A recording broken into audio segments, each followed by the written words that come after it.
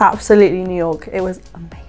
New York, definitely. Um, so I was able to go to Dubai for the first time, uh, which was really interesting. Uh, Chicago, definitely Chicago. I had the most amazing time. It's really interesting to be in the headquarters of companies, so Novo Nordisk in Copenhagen, Microsoft in Cologne. Chicago. Chicago was one of the best experiences of my life. Um, a big deal for me was going to New York in March 2023 um, because it was it aligned with the start of a new role for me.